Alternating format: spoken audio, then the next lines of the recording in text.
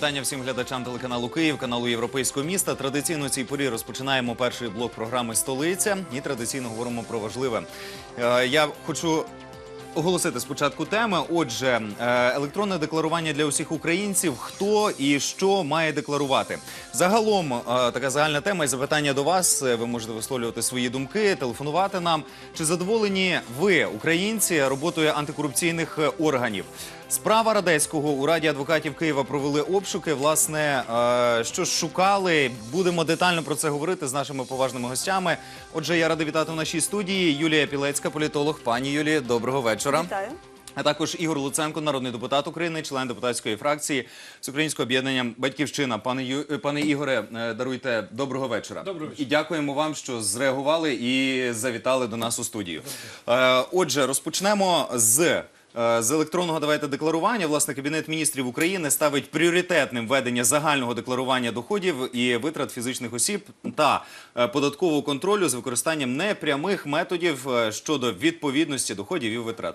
Так розумно написано, е, цікаво комусь, але ось ми будемо людською мовою розбиратися, що і до чого. Електронне декларування для всіх українців. Там цікаві ще й роки, тобто це такі пріоритети. е, Вже вони від, е, від учора в проект в проекті бюджетної резолюції на 18-20 роки. Декларування для всіх українців. Е, Коли загалом ось обговорювалася тема електронного декларування, люди дуже обурювалися, що і доведеться декларувати е, їм. А що ж українці дійсно мають декларувати і чи мають е, це робити ось вже найближчим часом? Прошу, будь ласка, пане Ігоре. Ну, з одного боку, в Конституції дійсно прописано, що громадянин має звітувати перед державою про свої там видатки, доходи. Е, З іншого боку, е, я не вважаю це ефективним засібом для того, щоб зробити нашу країну чесно, для того, щоб побороти корупцію і так далі. Тобто, все те, що там можна декларувати, навряд чи воно буде досягнуто через те, що ми побачили, що воно не досягнуто на найбільш очевидних прикладах. Тобто, топ-посадовці задекларували величезні статки, будучи при цьому лише посадовцями державних посад, депутатами і так далі, тобто з абсолютно скромними зарплатами. Тим не менш, е, що далі? Нічого. Тобто механізм, котрий визначає, що робити далі з такими от невідповідностями, він не працює зараз. Він номінально є. Є у нас НАБУ, у нас є Генеральна прокуратура, у нас є НАЗК, які мають цим займатися. Вони цим не займаються. Тобто той же Ляшко задекларував мільйони готівки доларів. Е, Будучи депутатом, і що хтось до нього має якісь претензії? Немає. Тому я думаю, що це може бути вилитися в ну цю боротьбу, яка давно точиться між підприємцями і податковою, коли хтось уходить в тінь, хтось намагається там справедливо уникати податків і так далі. Це все буде ще один механізм, е, отаке палиця в руках держави е, за нинішніх умов. Я підкреслюю. Є у нас одразу вже дзвіночок. Е, Доброго вечора. Слухаємо вас. Добрий вечір. Прошу, будь ласка.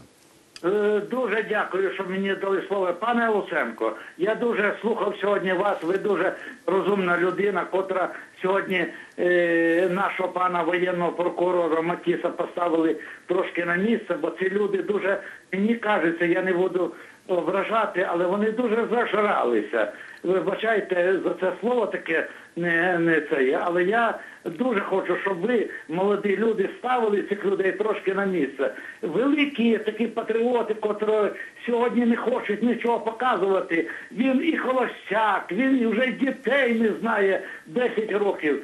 Ставте, люди добрі, ви молоді, мені 65 років. Тільки надія на вас. Ми сьогодні пішли в Європу.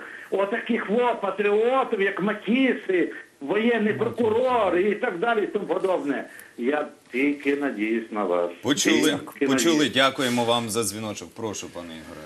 Ну, дійсно, у нас була така непроста дискусія сьогодні на нашому комітеті, е, коли прийшли, до речі, невідомо від кого, що ми намагалися з'ясувати, від кого ж ці всі пропозиції щодо того, що потрібно засекретити е, по- по- декларації там, прокурорів, там ще якихось силовиків, да, які причетні до антитерористичної операції.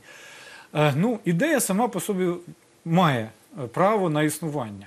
Але е, оскільки ті пропозиції вони викликали у нас величезні зауваження, тобто там ну, було трошки перебільшене е, секречення всіх даних. А така в якій фор- формі, просто щоб е, глядачам розповісти, є в якій формі, як це е, ці пропозиції потрапили? Е, Так оце найцікавіше. Тобто ми намагалися з'ясувати, а хто ж власне автор оцих всіх новел, котрі нам пропонують просто обговорити. Поки що це не є законопроектом, котрий хтось зареєстрував. От є такі ідеї, давайте обговоримо. Хто ж ці ідеї запропонував? І там починається вже те, що називається юлєнія серед чиновників. Тобто ніхто не хоче брати на себе відповідальність за те, що нам пропонується е, засекречувати декларації тих, хто там безпосередньо прокурор в зоні АТО. А там, до речі, корупції з боку прокуратури надзвичайно велика кількість, це не стосується самої антитерористичної операції.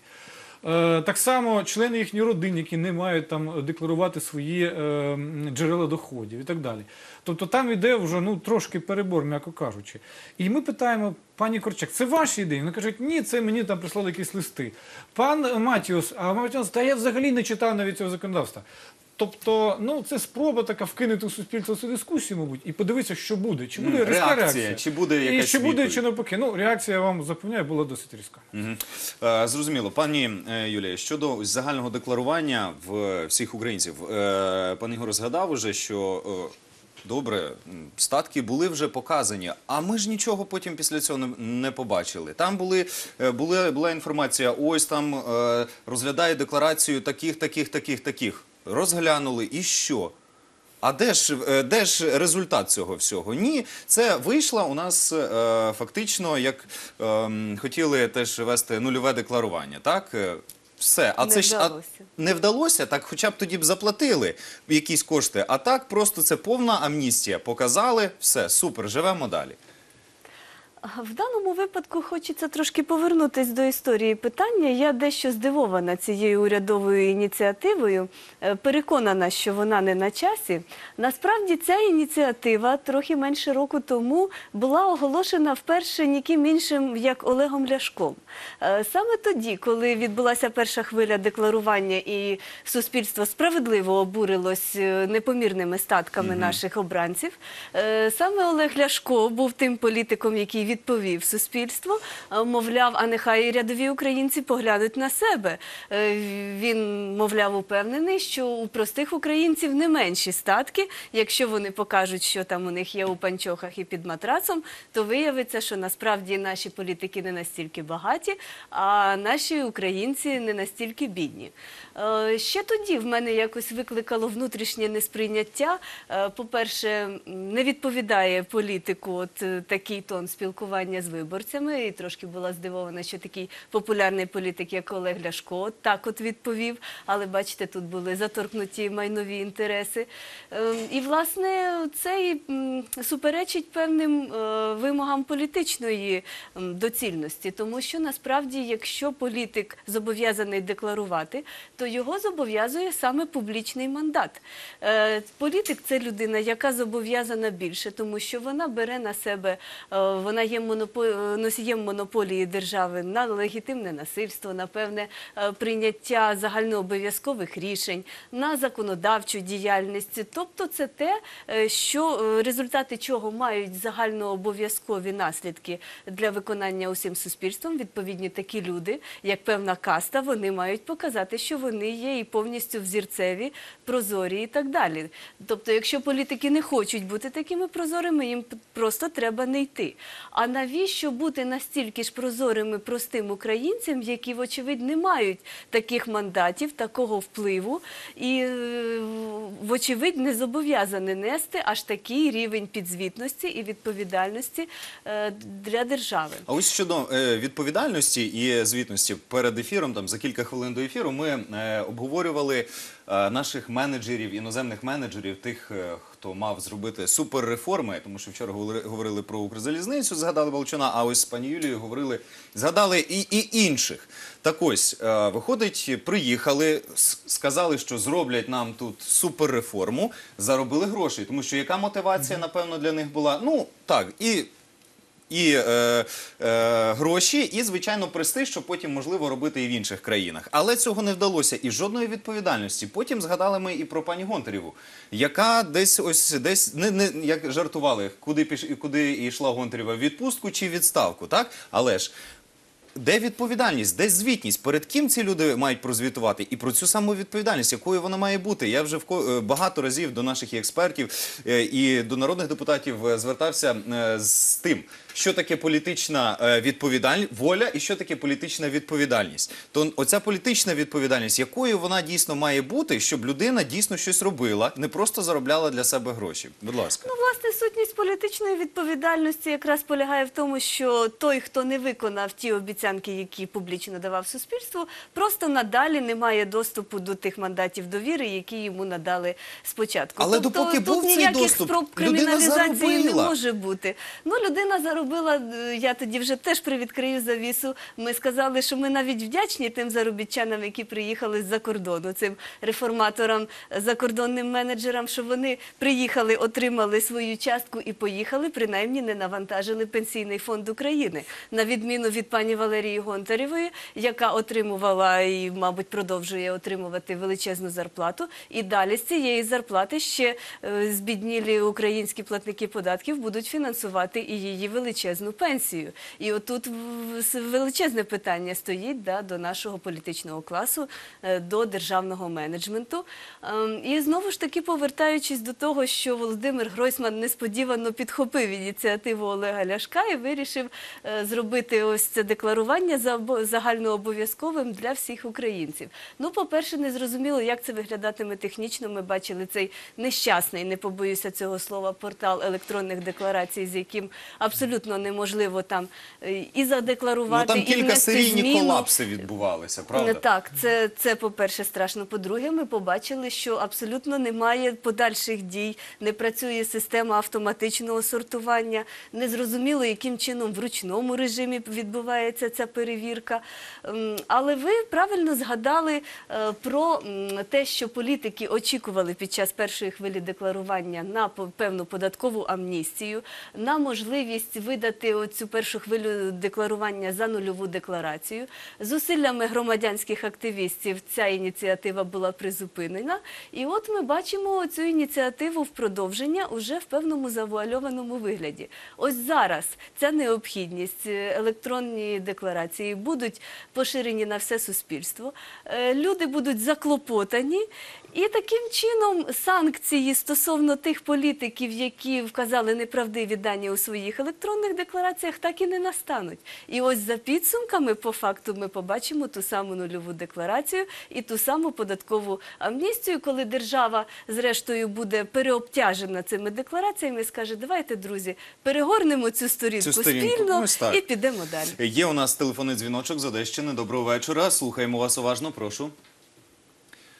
Будь ласка, ви в прямому ефірі. Можете ставити своє запитання.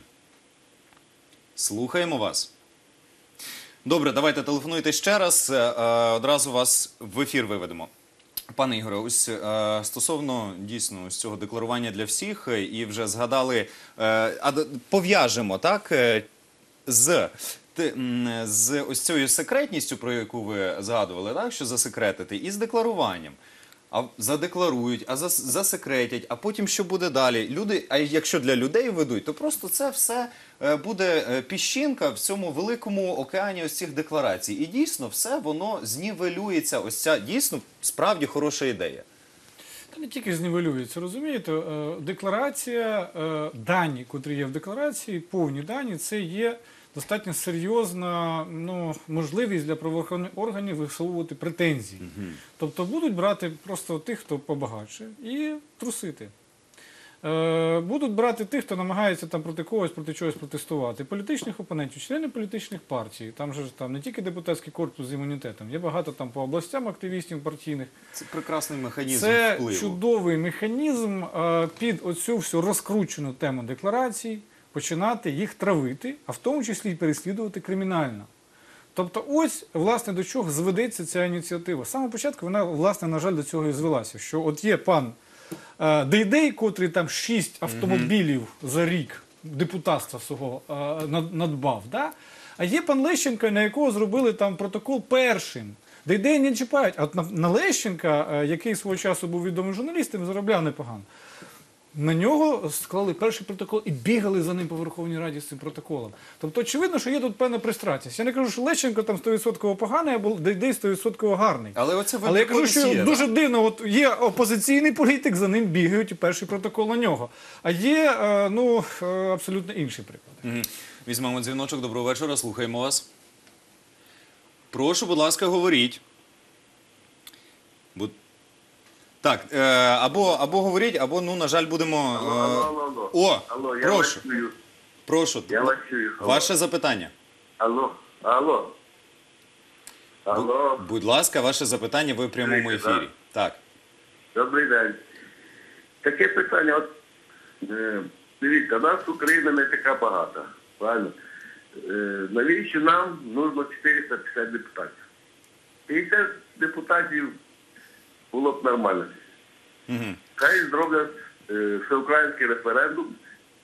І 50 депутатів хай буде в нас в Україні, і це буде добре. Не буде цих спорів, не буде цих разних. Почули, почули вашу думку. Дякую. Пане Ігор. Ну, я вам так скажу, що за нормами депутатів на душу населення ми далеко не попереду. Тобто ми країна, котра має достатньо помірну кількість оцих от депутатів. Це перше. Друге. І це не залежить, до речі, від рівня доходу на душу населення. По-друге, е, депутат апріорі, він поганий, хороший, але він апріорі найближче всього до народу. І це той передаточний механізм, котрий у владу дозволяє звичайним громадянам посилати певні імпульси, там, задоволені чи незадоволені, як правило. Якщо говорити про весь державний механізм, ну там десятки тисяч людей. І вони абсолютно не спілкуються з народом, як правило, в своїй масі. Вони не можуть сприйняти оці всі горі, нещастя, котрі несуть от мені на прийом громадян е, е, звичайні виборці. І насправді е, чисто фізично один депутат е, зараз, ну я б не сказав, що він зможе просто опрацювати все те, що на нього йде. Тобто, ну е, просто проблем в країні багато. Так? Але я вам так скажу, що звісно е, парламент потребує реформи, але це не питання кількості депутатів, це питання їх Як- якості, якості. і питання якості їхньої роботи і парламенту в цілому. Пані Юлія, будь ласка. Так коротенько додам. Дійсно, ми країна, яка має помірну кількість депутатів, і цим ми завдячуємо тому, що досі протидіємо і успішно протидіємо спробам ввести двопалатність. Тому що якби у нас був сенат, то з необхідністю там були б усі колишні урядовці, колишні судді, колишні депутати і всі привілейовані vip пенсіонери, які б не хотіли знаходитися в заміських будинках у кріслах-качалках, а хотіли б спокійно собі старіти у м'яких парламентських кріслах. Тому респект усім знову ж таки, хто протидіє введенню бікамералізму. І дійсно, якщо коротити, то є здраві ініціативи. Там щось було е, з нинішніх 450 покоротити до 300. От, от, о- о, це необхідний мінімум. Далі вже дійсно було б дуже тяжко. Просто ось навіть якби покоротили до 300, все одно була велика частина, а, до якої були претензії якості роботи. Ось е, пан Ігор сказав, так, коли спілкує, спі, іде спілкування з людьми, то люди кажуть про свої проблеми, але е, ну, не одиниці, можливо, там кілька десятків лише депутатів, які дійсно з людьми спілкуються. Ось як часто теж мажоритарники приходять до нас і кажуть, та я поїхав до себе, а там мене взяли е, за, там, за комір і сказали, а чому те, те, те, те, те, те. Він розуміє і каже: Стоп, е, я тут е, один, так, я, я відстою ваші е, інтереси, намагаюся це робити, але є велика частина, ну, які, вибачте, плювати, що там думають. Можливо, вони з тим виборцем ніколи не який голосував за них, який агітував, вони ніколи й в очі його не бачать і не почують його думку. Тут ще от, е, з приводу депутатів. Ну, навіть якщо є якісь депутати, які там не працюють, е, це не велика проблема. Велика проблема, коли ти, як депутат, не можеш реалізувати е, ті вимоги, котрі виставляють до тебе виборці. Я кажу про те, що я зараз пишу там кожен день практично звернення на правоохоронні органи. Результат, як правило, там 0,0.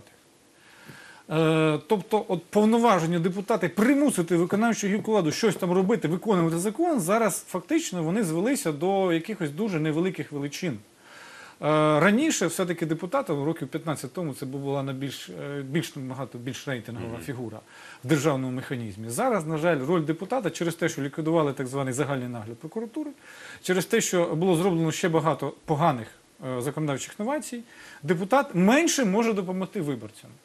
І от це питання, чому так у нас неефективний парламент. Не того, що їх там багато чи мало, а тому, що він свідомо свого часу там урізав, урізав свої функції. В результаті ну, депутат зараз це не той, що депутат колись, і не той депутат, котрий- навіть має бути за законом. От, от, от головне питання з приводу народних депутатів. Ось пані Юлі, е, згадали вже е, про Ляшка. Цікаво подивитися та й е, його там сторінку і відео ось такі теж цікаві. є. Нещодавно він в, в Житомирі був і там заходив до аптеки. Значить, зайшов, каже: ну дайте ну мені безкоштовні ліки, які у вас є. Аптека приватна, а аптека ось в програмі, яка стосується безкоштовних е, ліків, вона не бере там участі, але він подбав про народ і ось зробив так. Ось така показ, показова гра на камеру, на публіку, коли там десь е, мільйони. Ну, це, це, це що? Це цей депутат, е, як можна його охарактеризувати? Це політичний шоумен. І якщо у наших виборців є запит саме на таких політичних акторів, то це питання е, навіть не до тих, хто балотується, а до тих, хто обирає. Тому що дійсно є такі народні депутати, от як пан Ігор, чи, наприклад, як Михайло Гаврилюк Козак, який є депутатом від мого округу. Це люди, які, яким виборці не побоялися довірити мандат, яким люди довіряють, і які дійсно зараз завантажені по зав'язку разом зі своїми там кількома помічниками. Е, Там величезна кількість звернень громадян. Люди з цими зверненнями чекали 20 років. Ці звернення знаходились без розгляду. Зараз от прийшла чесна порядна людина, і е, на неї за всі 20 років е, ця гора потрапляє. А є такі е, депутати, це в основному мажоритарні депутати, які прийшли в парламент з певних місцевих князівств чи таких феодальних наділів. Тобто він був, вважався деким таким шановною людиною, місцевим паном. Тоді ці шановні люди так само панують у частині парламенту. Більш впливові серед них тоді отримають урядові крісла, тому що вони можуть керувати там не одним наділом, а декількома. І відповідно ця система е, багатоступенева, вона тоді і протидіє тому, аби відбувалася ротація політичного класу і селекція е, тих парламентарів, які будуть дійсно концентруватися на роботі в парламенті. Мгм. Є у нас знову дзвіночок. Доброго вечора. Слухаємо. Прошу, будь ласка, ви в прямому ефірі. Алло. Так, так, так.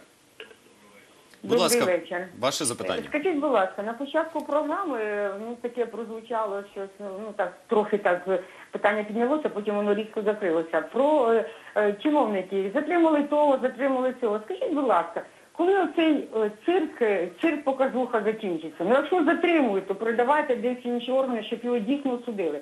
Зараз іде е, така, ось ви розказуєте, що будуть прості громадяни, українці декларації там оформляти. Ну, скажіть, дайте мені, будь ласка, відповідь. Якщо колись людині, ну, наприклад, мені, колись там мама чи тато, чи може коханець там, чи хто подарував мені, скажімо, той же будинок, або в спадщину він там е, тобі дістався, або ж та машина. Коли це було в 80-ті там, чи 90-ті роки. Зараз я повинна це все задекларувати і комусь щось сплачувати.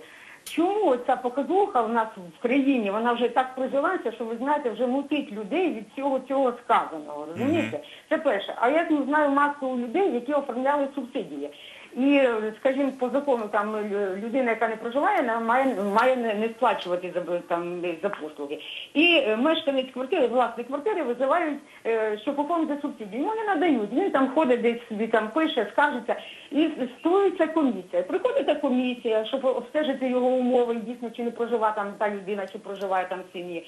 Вони говорять, о, у вас же холодильник який дорогий, о, у вас там телевізор, чи он там мебель у вас стоїть, ви так заможні живете, у вас такий ремонт шикарний зроблений. Ну, шикарний, що в їхньому понятті я не розумію, що там обоє переклеєні, то шикарні.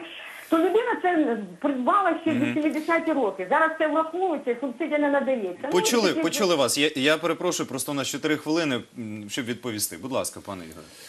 Ну, перша частина запитання вона стосувалася, коли, врешті-решт, е, будуть посадки. Коли врешті-решт будуть е, м, вироки суддів, значить виправдальні вироки суддів. Бо ми бачимо, що зараз вся боротьба в корупцію зводиться до того, що когось там піймали і обирають запобіжний захід. Чи він такий буде, чи такий. Мене, чесно кажучи, дуже мало цікавить. Мене цікавить, врешті-решт, чи визнає його суд винним чи ні. А зараз вся оця біготня якраз е, щодо того, чи сплатив він заставу, чи не сплатив, чи буде він сидіти в СІЗО чи ні. Це не головне. Головне, що була покарана злочин корупційного характеру. І тоді це буде. На жаль, практика наших правоохоронних органів, як нових, так і старих, полягає в тому, щоб просто е, налякати людину, витіснити його за кордон, збити з нього гроші. От мені дуже цікаво, нещодавно Мій однофамілій сказав, що от буде притягнуто е, до відповідальності три депутата. Подання на них. Де ті подання? А що вони нібито щось не доплатили, а потім вони, виявляється, сплатили. І це було так, ну так дуже театрально на всю країну і так далі. Мені це викликає велике питання. Як так можна працювати? Якщо раніше на Онищенка це була велика секретність, що подавали е, це подання, були якісь витоки, то зараз це просто оголошення на всю країну, що е, хлопці, готуйтеся, за вами прийдуть. Ну вони біжуть, домовляються, вирішують ці питання, просто скажуть, а так вони нормальні, ми передумали. До речі, декілька регіоналів зараз прізвище забув, на жаль. От з приводу одного з е, опозиційного блоку депутата також був анонс, що буде притягнення, причому срок був даний, вже срок три чи чотири рази пройшов, немає. Це все просто, я вважаю, рейки, тобто вимагательство з боку нових або старих правоохоронних органів. На жаль, до цього все зараз зводиться, вся ця так звана боротьба з корупцією. Я хочу бачити реальні вироки. Оце моя коментар, відповідь. глядачів. А ось е, по другому запитанню стосовно цих субсидій. Ну, е, річ у тім, що е, я вбачаю те, що зараз каже Гройсман з приводу тотального декларування, і те, що пропонували так звані іноземні експерти з приводу великої армії інспекторів, які будуть слідкувати за громадянами, котрі отримують субсидії, це все одне, одне і те ж русло. Це намагання просто зменшити видатки з бюджету. Якщо ти отримуєш субсидію, то, будь ласка, іди задекларуй свої видатки. І тоді, е, якщо ти, не дай Боже, неправильно задекларуєш, за тобою прийдуть з Генеральної прокуратури там, чи з міліції, дивлячись по підслідності. Тобто це залякування громадян, що вони не йшли, не просили субсидії, і зменшення субсидій як видатків. Ми бачимо, що зараз Нафтогаз отримує колосальні прибутки, мільярди гривень. Їм треба, щоб це було менше навантаження на бюджет, щоб бюджет е, теж почував себе нормально, і е, щоб громадяни не мали претензій до держави. Бо, не дай Боже, ти маєш претензії, давай субсидію, а покажи свою декларацію. Ага, в тебе там кома не така. Ну все, до побачення. Пані Юлія, прошу, будь ласка. Ну, у нас є проблема велика з тим, що насправді антикорупційні наші інституції були е, створені на вимогу Європейського союзу, наших зарубіжних партнерів. Відповідно, цільовою аудиторією стосовно антикорупційної діяльності є зарубіжна аудиторія. Саме тому м, і ми бачимо такі практики телеканалу Discovery. Впіймали, показали, відпустили. В той же час е, українська цільова аудиторія, українське суспільство, воно хоче більш детально все-таки вникнути в суть цих справ і розібратися, і от е, і побачити судові вироки. Воно їх не бачить. І відповідно ми робимо висновок, що от попри те, що у нас функціонують декілька аж, аж три, як мінімум, антикорупційних спеціалізованих інституцій, дієвих, показових, ефективних антикорупційних кейсів у нас немає. Е, Ось поки ці кейси у нас не з'являться і не набудуть е, характеру сталої практики, а це має пройти орієнтовно років 10, тобто мають бути розслідувані, мають бути судові вироки, мають бути посаджені і так з року в рік оцей механізм має запрацювати. В той же час буде розбудовуватися ін- інституційна інфраструктура суспільства, буде покращуватися якість життя громадян, і там орієнтовно через 10 чи більше років ми вже будемо на порозі вступу до Європейського союзу, як нам це обіцяють наші е, жителі політичного Олімпу. І от тоді. Не раніше потрібно виступати з ініціативами загального декларування для всіх українців, але не цього року, не наступного і не наступних років 10. А ось стосовно субсидій, погод- погоджуєтеся з паном Ігорем? Е, Цілковито немає таємниці в тому, що є жорстка вимога кредиторів з міжнародного валютного фонду орієнтовно на третину, а краще і більше, зменшити кількість домогосподарств, які отримують субсидію. Тому що дійсно у нас кількість е, людей, які отримують субсидію, це, е, мабуть, чи, чи не світовий рекорд. Мабуть, немає в- серед європейських країн таких прикладів е, ось реципієнтів відповідної політики. Просто ще цікаво, як, це е, подавалося інформаційно про, про субсидії. Що ось ми будемо всім давати субсидії. Так, ми що допоможемо держава всім. попіклується Держава про попіклується. кожного. Але навпаки, краще б створили такі умови, щоб людям не були потрібні ці субсидії, щоб людина могла собі нормально платити і нормально жити.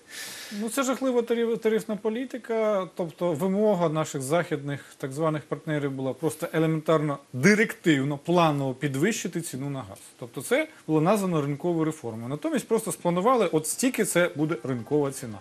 Ніякого ринку, звісно, тут немає. І зараз що ми бачимо по Києву? Ми бачимо просто тотальне відключення гарячої води, тому що просто заборгованість за комунальні послуги, які ніхто не може сплатити. То де тут ринок? Пане Ігоре, ви якось е, думки прочитали і загалом те, що ми будемо готувати, тому що наступна наша програма, яка вже буде ось за кілька хвилин, саме буде на цю тему. Дякую вам, що знайшли час до нас е, прийти. Завжди раді вас бачити у нашій студії. Глядачам нагадаю, що гостями були Ігор Луценко, народний депутат України, та Юлія Пілецька, політолог. Ще раз дякую. Глядачі, за лічені хвилини будемо продовжувати. Дочекайтесь.